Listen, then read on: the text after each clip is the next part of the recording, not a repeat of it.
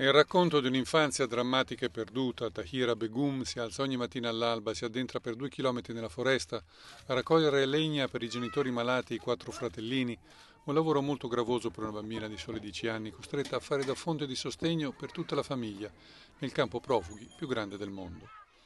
Sono circa 1400 i bambini che devono provvedere da soli alle loro famiglie nei ghetti affollati di profughi allestiti al confine orientale del Bangladesh, dove si sono ammassati 600.000 Rohingya musulmani in fuga dalle violenze che dall'agosto scorso li hanno presi di mira in Birmania. Mi alzo alle prime luci, e vado sulle colline, prima a far legna e poi a prendere l'acqua, spiega Tahira. Poi quando torno devo far da mangiare e se mi resta un po' di tempo vado a scuola. Vivo con i miei genitori malati e altri quattro fratelli più piccoli. Cerco anche di vendere al bazar un po' di legna per guadagnare qualcosa.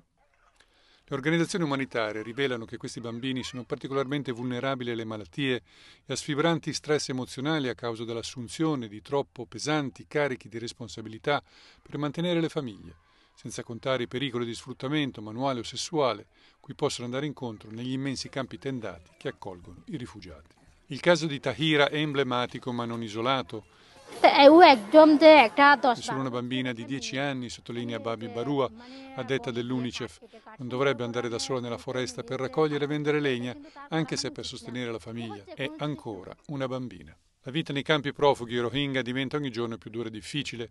L'afflusso sempre più massiccio dei rifugiati ha fatto schizzare alle stelle i prezzi e anche Tahira deve contrattare duramente con gli adulti per acquistare cibo e medicine per i suoi genitori e i suoi fratelli più piccoli.